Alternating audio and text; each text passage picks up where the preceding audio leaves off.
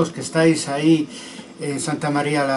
la, Real eh, de Nájera y a los colegas y amigos que, que seguirán esta conferencia después de la, de la semana eh, de, historia que estáis eh, celebrando ahí en La Rioja. Bien, agradecer en primer lugar a, Esther eh, López Ojeda y a amigos de la historia najariense la invitación por segunda vez a estas estupendas eh, semanas de, historia eh, medieval que se vienen realizando desde hace mucho eh, tiempo. Vamos a hablar de Prisciliano de Galaecia, Hechos y Mitos, como sabéis, y empezamos preguntándonos quién es Prisciliano, o mejor dicho, quién fue Prisciliano. Bueno, su fama, que ha llegado hasta, hasta hoy en día, eh, viene de que en el año 385 fue ejecutado en Alemania, en, en Trevaris, a la edad aproximadamente de 40 años. Eh, un cronista inmediatamente posterior a esos hechos luctuosos decía de Prisciliano, que era de familia noble, muy rico, enérgico, inquieto, elocuente, instruido por la mucha lectura, muy presto para la disertación y el debate, un hombre ciertamente de éxito, decía eso a comienzos del siglo V. Por lo tanto, venía a decir que era joven, autodidacta, brillante. Continúa, tiene, tenía buenas cualidades espirituales y corporales, podía soportar el hambre y la sed, era poco deseoso de poseer y muy parco en gastos. Un asceta en definitiva. Eh, Prisciliano sufre en, en, el año 385, desde antes de ese año, entre el año 380 y 385, unas acusaciones terribles eh, ante que llegan al emperador Máximo eh, y venían de, de Itacio y Idacio. Itacio era eh, obispo en Faro, en el Algarve, e Idacio era obispo en Mérida, ambos obispados en la provincia romana de Lusitania, que era frontera eh, con Galaecia por el, por, el, por el sur. ¿no? ¿Quién era Itacio? Según Suspilcio, Suspilcio Severo. Fijaros qué enormemente duro era con el acusador. Eh, eh, severo, que hay que añadir, era fue el biógrafo de San Martín de Tours, decía, de Itacio. No tiene nada de valor, nada de santo, mas fue audaz, locuaz, desvergonzado, derrochador y muy dado a los placeres del vientre, del vientre y de la boca. Enormemente duro con el obispo de Faro en el Algarve. Sigue el cronista severo. Se atrevió el miserable a acusar abiertamente de hereje al obispo Martín, varón eter, enteramente digno de ser comparado con los apóstoles. Bueno, Martín de Tours fue como Prisciliano y el propio Severo asceta antes que, que, que clérigo eh, conocido, ¿no? Eso hay que decirlo porque además esa idea de, de Severo respecto de su adorado San Martín de Tours, de comparándolo con Prisciliano, pues era lo mismo que eh, eh, a finales del siglo IV harán los seguidores de Priscilianos con él, ¿no? Yo creo que el mismo eh, eh, Prisciliano se sentía eh, no, no solo seguidor del, del, del Antiguo y del Nuevo Testamento, sino se sentía como un apóstol. Consideraba eh, su tarea religiosa una tarea de apostolado continuo. ¿no? Bien, eh, lo que decíamos, Citacio y Dacio convencen al emperador Máximo en Alemania para que ejecute a Prisciliano, para lo cual eh, sus acusadores que venían de, fueron, se trasladaron de Hispania a Alemania tendrán el apoyo de los obispos germanos. ¿Quién fue el emperador Máximo? Bueno, fue un emperador que duró muy poco, que gobernó el imperio en su final eh, a través de un golpe eh, militar eh, y que quería congraciarse con la iglesia jerárquica, lo había conseguido ya con, con los obispos germanos y, le, le, le, halagaba el apoyo de los obispos hispanos que fueron hasta Treveris para tratar de convencerlo para asesinar al, al obispo de, de, Galaecia, aunque eh, legalmente lo que era es, es exclusivamente el obispo de, de Ávila. Máximo sobrevivió solo tres años a la ejecución que él ordenó de Prisciliano, porque en el año 388, en el año 388 el emperador Teodosio lo ejecuta al, que fuera emperador Máximo. Eh, entonces, en fin, no, duró, mucho eh, la fiesta ni el intento de congraciarse con la iglesia jerárquica que estaba en proceso de formación eh, cuando el propio Teodosio lo ejecuta a él también. Tuvieron que buscar un pretexto legal para eh, ejecutar a, a, Prisciliano de Galaecia y se inventaron el pecado de maleficium, es decir, la de magia, de, de de, brujería, que es lo que permitía eh, que fuera juzgado eh, y ejecutado por el brazo secular, en este caso el emperador Máximo. ¿no? Después de, de, su muerte, eh, en Treveris se opusieron de una manera contundente a, a, lo que había decidido el emperador Máximo, a instancias de, de, la iglesia hispana se opusieron San Martín de Tours, San Ambrosio de Milán y el propio Papa eh, eh, ¿no? Claro, manteniendo esto, esas tres figuras tan importantes de, de, la, de la iglesia europea en el siglo IV, eh, sin dejar de criticar a Prisciliano por lo que consideraban su de, desviación de, del canon eh, en, eh, en, forma, en formación a partir del, del concilio de, de, Nicea. O sea, lo consideraba, la seguían considerando hereje, pero estaba en contra de su, de, su muerte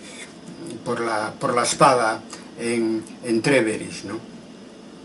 Hay que recordar que en el año 313 el emperador Constantino legaliza el cristianismo en el imperio y en el año 325 eh, convoca Constantino el Congreso de Nicea con la idea de potenciar una iglesia eh, jerárquica de nuevo tipo aliada con el, con el poder eh, imperial, lo que entraba en colisión con las comunidades cristianas eh, recién salidas de la clandestinidad. Y explica un poco el conflicto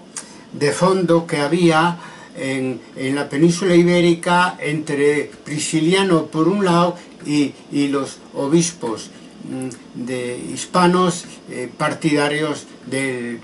concilio de, Nicea, que sin duda alguna eran la, mayoría con la excepción de, de, ¿verdad? Eh, pues bien, eh, Prisciliano representa en ese conflicto, que también es un conflicto de poder, no porque lo quisiera Prisciliano, sino porque lo imponen Itacio e Idacio y los demás obispos de las restantes provincias romanas en la península ibérica. Prisciliano decía representaba el paleocristianismo apostólico, comunitario, lo que lo hacía muy peligroso es que además de eso era un gran conocedor de las sagradas escrituras, eh, tanto Nuevo como Viejo Testamento, eh, tanto evangelios canónicos como los evangelios eh, apócrifos. Y conocía también muy bien las, las herejías de ese momento y, incluso anteriores, ante las cuales adoptaba una postura de superioridad intelectual que por lo que parece era muy característica de, de, Prisciliano, porque ofendía a otros, digamos, menos conocedores de, los libros religiosos, a otros obispos me refiero, ofendía pues su seguridad en sí mismo y su conocimiento eh, profundo y el ímpetu que mostraba en defender esos conocimientos sobre el Antiguo y el, y el Nuevo eh, Testamento. Aunque claro, lo que más les preocupaba a los eh, obispos de las provincias romanas que rodeaban, digamos, eh, la Galaecia, que ocupaba todo el noroeste y el norte de la península, que no solamente Lusitania, también la cartaginense, la tarraconense, etc. Lo que más les alarmaba es con qué rapidez eh, las ideas eh, de Prisciliano se estaban extendiendo en sus propias diócesis y fue lo que llevó, como estamos viendo, a Idacio e Itacio a, a intentar eh, sacarse de en medio a Prisciliano, que, al que veían como un peligroso competidor, aunque él no se planteaba eh, su práctica religiosa y su proselitismo eh, como una competición con la iglesia establecida, sino, eh, como veremos, quería más bien convencerlos predicando con el ejemplo, y eso fue un pecado de inocencia, pues que que lo cogió desprevenido y que lo llevó a la muerte, porque no todos eran como él. Eh, el primer ataque que recibió eh, el prisciliano y el priscilianismo, en el caso del líder religioso sin nombrarlo, fue en el concilio de Zaragoza en el año 380. después de ese, de ese ataque, los obispos priscilianistas, porque en el año 380 el priscilianismo había generado sus propios obispos, eh, le convencen a Prisciliano para nombrarlo obispo, con el objeto de que pudiera defenderse mejor de sus acusadores eh, eh, que los obispos hispanos partidario del, más partidarios del concilio de, Nicea. Hay una vacante en Ávila eh, y, lo hacen obispo eh, de Ávila que además eh, coincide que formaba parte de, en ese momento Ávila de la provincia romana de Lusitania, a la que pertenecían tanto Itacio como Idacio, lo cual debió de molestarle bastante. Bueno, hecho obispo, hecho obispo por los obispos de, que lo seguían a él, eh, lo que hace es, para defenderse de las acusaciones de, de Itacio e Idacio, visitar primero Roma y después Treveris. En Roma se encuentra que el Papa de ese momento, Damaso, no lo quiere recibir, lo cual es, prueba evidente de que se trata de un Papa eh, eh, niceano y muy decidido en, colaboración con, con, el imperio a, potenciar, como decíamos antes, eh, la Iglesia jerárquica de, a, partir de, una experiencia de siglos, de cuatro siglos anteriores de vivir perseguidos en el, en, el, en, las, en el, vivir en las catacumbas, en el caso de la propia Roma, vivir perseguidos eh, por la coalición de, por, el imperio, por el imperio romano. Damaso no lo recibe en Roma y en Treveris ya conocemos lo que pasa, es que eh, cuando él viaja con, con sus con, sus compañeros, con una comisión de la iglesia priscilianista elegida por él mismo, pues se encuentra que sus eh, Itacio e Idacio lo persiguen hasta, hasta Alemania y allí consiguen que, no vuelva a, la, a, la, península ibérica, sino es como eh, eh, muerto. Bien, tenemos fuentes históricas para conocer el priscilianismo y, la propia vida y obra de Prisciliano. Nunca son suficientes para un periodo tan remoto, pero sí que hay mm, eh, sustanciales fuentes y, además que nos permiten tener una visión dialéctica y, completa de lo que fue la vida de Prisciliano y su obra y, la religión que él potenció y que representó eh, en la, segunda mitad del siglo IV. Tenemos fuentes contrarias y fuentes favorables. Las fuentes contrarias son especialmente interesantes porque las tratamos como si fuera una foto negativo, es decir, positivamos la información que viene eh, en las fuentes contrarias al prisciliano y al priscilianismo con el objeto de conocer más cómo funcionaban y las comunidades eh, cristianas priscilianistas en, la, en, Galicia. Y después las fuentes favorables, pues claro, pues es el punto de vista del propio prisciliano y, de los y, de otros cronistas próximos al, priscilianismo. Claro, hay que tener en cuenta que las obras favorables a Prisciliano se publican posterior de su muerte y, en algún momento puede, podemos encontrarnos alguna interpolación eh, por parte de los editores para quedar bien con la iglesia oficial. Pero por otro lado es sumamente interesante porque, porque es conocer el punto de vista de los protagonistas y víctimas de esta historia, ¿no? que, son, que es prisciliano y el priscilianismo, sobre todo el priscilianismo después del reino suevo, cuando eh, eh, desde, desde el estado visigodo eh, pues se, intenta mm, estirpar lo, que quedaba de, la época eh, eh, prisciliana. Por lo tanto tenemos este dos tipos de, fuentes, contrarias y favorables. En las contrarias, naturalmente, son las actas de los concilios hispanos, la mayoría de ellos sin presencia de, los obispos de, de, Galicia. ¿no? Hay dos tipos de concilios, los anteriores y los posteriores al reino suevo de Galicia. Los primeros, que son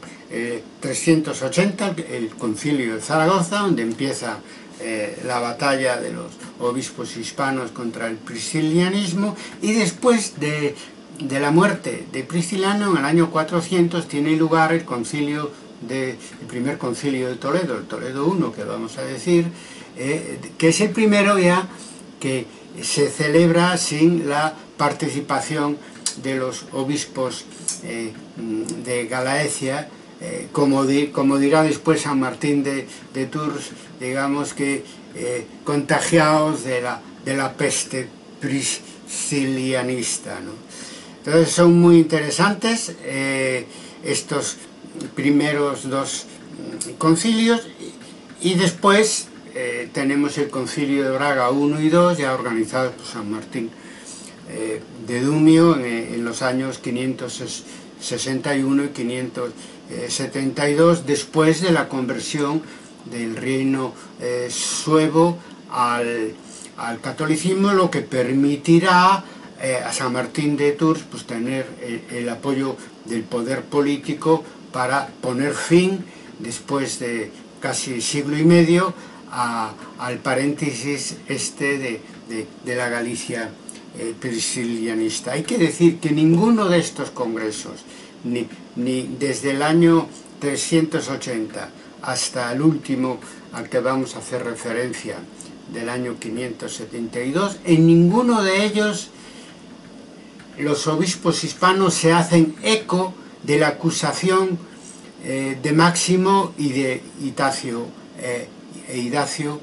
contra Prisciliano por brujería eh, y, y, maleficio, que fue lo que el pretexto legal que se encontró para poder cortarle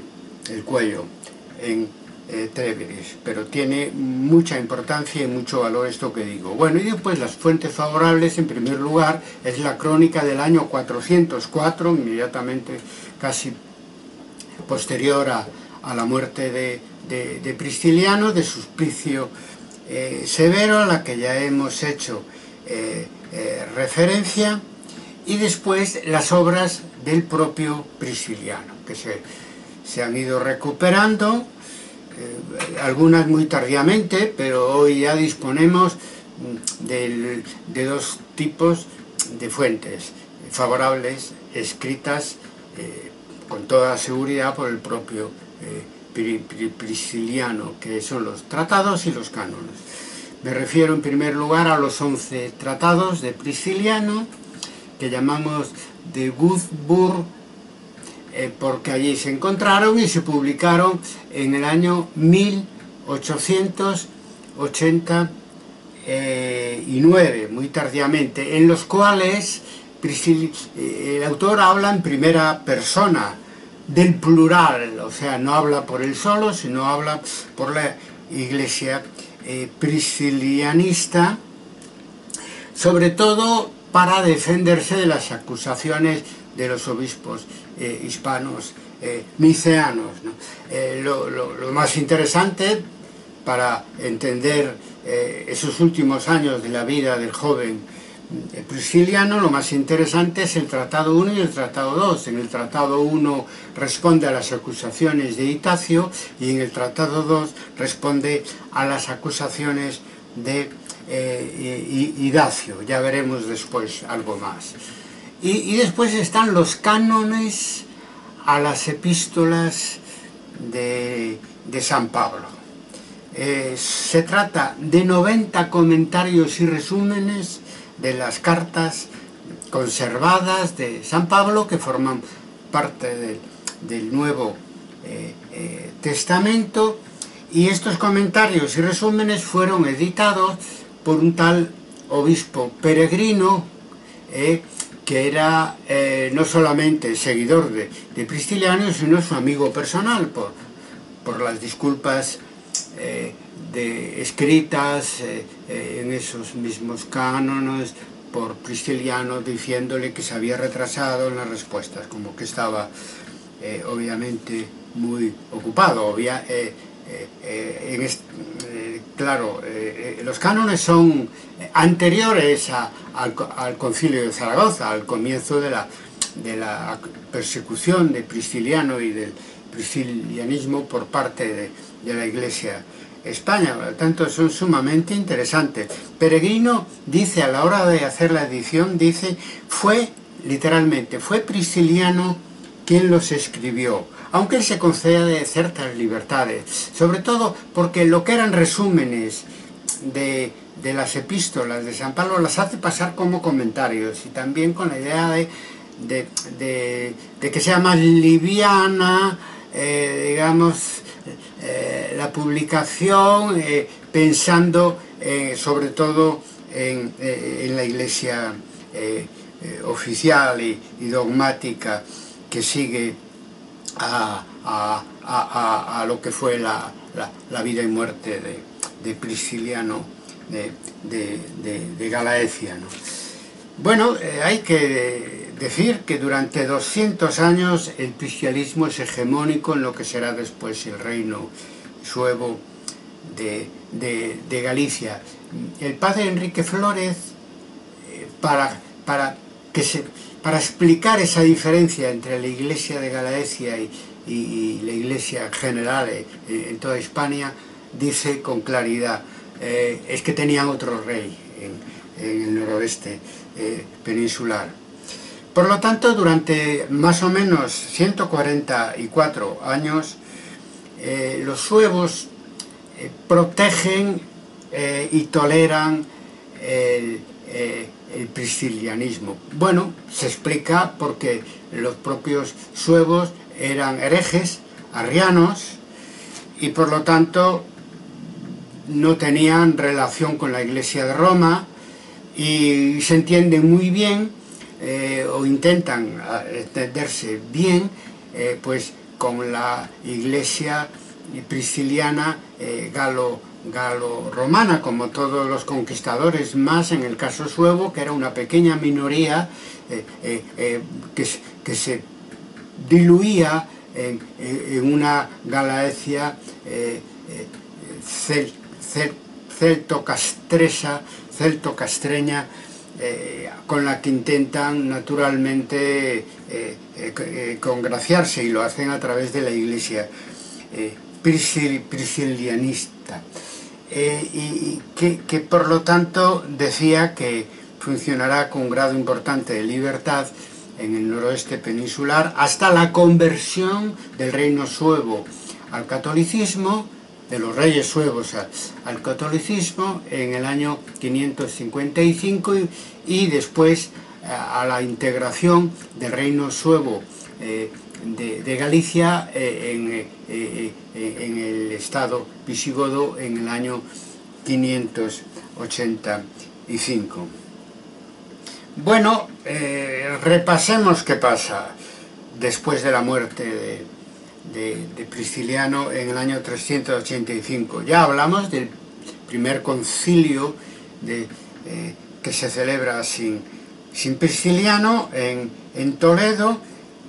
y que se celebra sin Prisciliano, pero también sin los obispos de, de Galicia que no están presentes. De manera que eh, eh, es el primer congreso antipriscilianista eh, después de, de, la ejecución de Entreveres de, de Prisciliano y, los acuerdos quieren hacérselos llegar, recuerdos acusatorios, quieren, quieren hacérselos llegar a, a los obispos eh, gallegos. Entonces, eh, eh, lo hacen a través del Papa, en, en ese momento, el Papa León,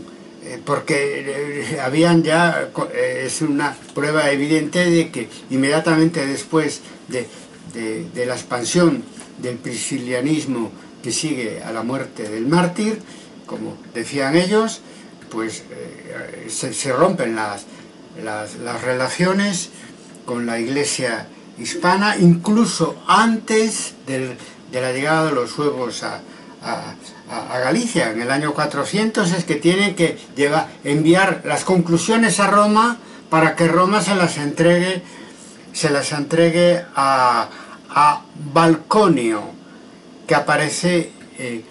en, en, las actas del concilio de Toledo como obispo de Galaecia. Es decir, se ve que eh, la figura más destacada de la iglesia priscilianista de Galicia una vez desaparecido eh, Prisciliano. Y lo hacen pues a través del Papa León. Obviamente eh, esos acuerdos del concilio primero de, de Toledo no llegan a aplicarse porque esto pasa en el año 400, la iglesia priscilianista de Galicia no los aceptaba y después en el año 411 se, te, tenemos el reino suevo de, Galicia y entonces eh, que, le da total libertad a la iglesia priscilianista, por lo tanto no, se aplica. Hay un segundo intento del Papa León para intentar embridar la iglesia gallega y apartarla del priscilianismo en el año 447 el Papa León intenta que se, que se, que se, que se haga un concilio en, en Galicia donde participen los obispos eh, gallegos, priscilianistas en su mayoría y los obispos hispanos y no lo consigue. Ya, ya no tenemos noticia de que lo vuelvan a intentar hasta el año 561. Es decir, que es necesario esperar eh, más de un siglo para que eh, se pueda celebrar en Galicia un congreso de la Iglesia Romana. En el año 561 se da Braga I, primer concilio de Braga, ya organizado por San Martín de Dumio, también conocido como San Martín de, Braga. E, en el preámbulo de las actas del, de, Braga, del concilio Braga I se dice que la peste, literal, priscilianistas, fue condenada hace ya mucho tiempo en las provincias de España. Explíquese aún con más detalle a los hombres ignorantes, los gallegos de aquella época,